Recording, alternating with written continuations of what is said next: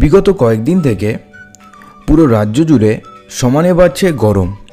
আসলে বাতাসে এখন রয়েছে আর্দ্রতার পরিমাণ সর্বোচ্চ, সেই কারণে উত্তরবঙ্গ থেকে দক্ষিণবঙ্গ, প্রায় সমস্ত পশ্চিমবঙ্গে কিন্তু প্রচণ্ড একটা অস্বস্তিকর গরম থাকছে।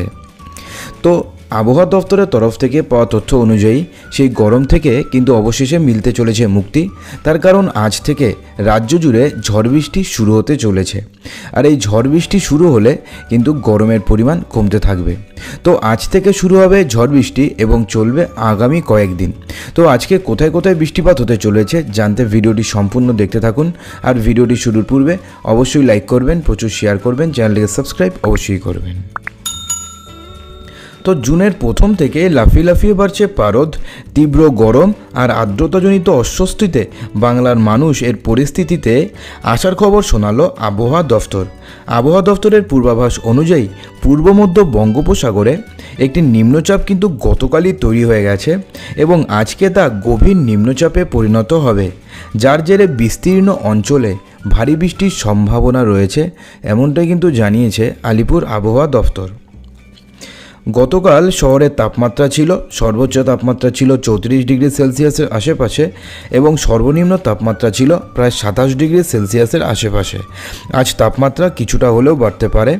আজ সর্বোচ্চ তাপমাত্রা থাকবে পঁয়ত্রিশ থেকে ছত্রিশ ডিগ্রি সেলসিয়াসের আশেপাশে এবং সর্বনিম্ন তাপমাত্রা থাকবে ছাব্বিশ থেকে সাতাশ ডিগ্রি সেলসিয়াসের আশেপাশে। আবহাওয়া দফতর জানিয়েছে যে মধ্য আরব সাগর, গোয়া কঙ্কন, কর্ণাটক, উপকূলীয় অন্ধ্রপ্রদেশ রায়লসীমা মধ্য ও উত্তর বঙ্গোপসাগর এবং উত্তর পূর্বের কিছু অংশে আগামী দু থেকে তিন দিনের মধ্যে দক্ষিণ পশ্চিম মৌসুমী বায়ু প্রবেশ করবে। ফলে দক্ষিণের ছয়টি রাজ্যে প্রচণ্ড বৃষ্টিপাত হবে বলে জানিয়েছে আলিপুর আবহাওয়া দফতর আবহাওয়া দফতরের পূর্বাভাসে একটি বেসরকারি আবহাওয়া সংস্থা জানিয়েছে, লা নিনার অবস্থার কারণে চলতি মরশুমে ভারতে একটি অস্বাভাবিক ভেজা এবং স্বাভাবিকের চেয়ে উপরে বর্ষা হবার সম্ভাবনা রয়েছে।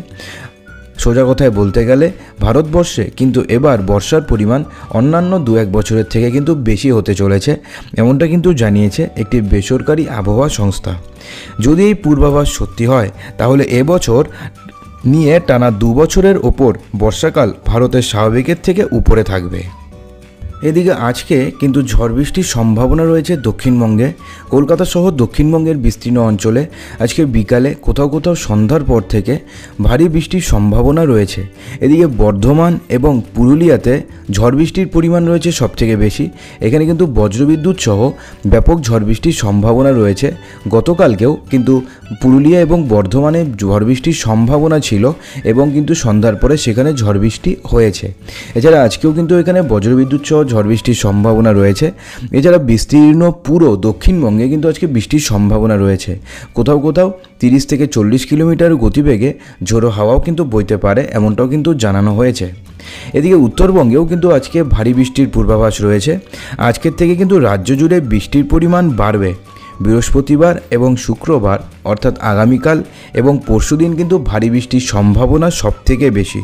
আজকে বজ্রবিদ্যুৎ সহ বৃষ্টির সম্ভাবনা রয়েছে দক্ষিণবঙ্গের বিভিন্ন জেলায়। গতকালকে যেমন দক্ষিণবঙ্গের বিভিন্ন জেলাতে বজ্রবিদ্যুৎ সহ বৃষ্টিপাত হয়েছে, তেমনি আজকেও কিন্তু দক্ষিণবঙ্গের বিভিন্ন জেলাতে বজ্রবিদ্যুৎ সহ বৃষ্টির সম্ভাবনা রয়েছে। তো বন্ধুরা, এই ছিল আজকের আবহাওয়ার আপডেট আশা করি ভিডিওটি আপনাদের ভালো লেগেছে। যদি ভিডিওটি ভালো লাগে, ভিডিওটিকে লাইক করবেন শেয়ার করবেন এবং আপনারা যখন ভিডিওটি দেখছেন, তখন আপনাদের এখানে কেমন আবহাওয়া রয়েছে? বৃষ্টিপাত হয়েছে গতকালকে, কারণ যদি আপনি সকালে দেখেন, বৃষ্টিপাত হওয়ার সম্ভাবনা কম। গতকালকে কি বৃষ্টিপাত হয়েছে? অবশ্যই ভিডিওর কমেন্ট বক্সে কমেন্ট করে জানাতে কিন্তু ভুলবেন না।